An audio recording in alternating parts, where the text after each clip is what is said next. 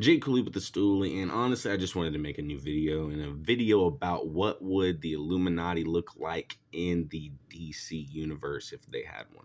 Now, the first member I think would be Dr. Fate, obviously, because he has no real ties or connections to anybody or anything really except for the JSA. But he's more of just himself.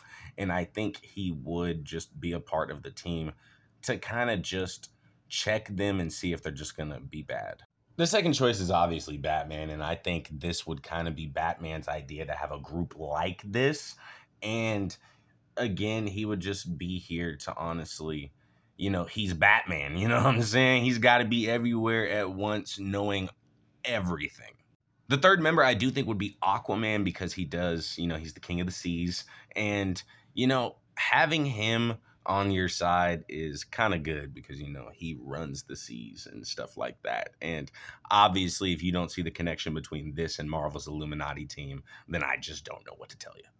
So the point of the Illuminati is basically to know all things everywhere so I think they would need Hal Jordan to know just the things that are happening in space and to protect the Earth if just any space threats came out of nowhere. And we all know the space threats are odds is more powerful than just the Earth based threats. So yeah, that's why he's Amanda Waller would be on the team only in with her on the team, you can basically say the Suicide Squad is also there and you she's obviously here just because she has to know everything and if you know amanda waller you know damn well she would be on this illuminati team calling some type of shots just like batman last but not least i have to say nightwing would be on this team only because and i wouldn't have said this if i didn't know he had contingency plans for the titans like batman does for the justice league and it's just like i think batman would want him on this team because batman would want somebody to trust i mean he can trust everybody else, but Nightwing is an actual person he knows for sure he can trust.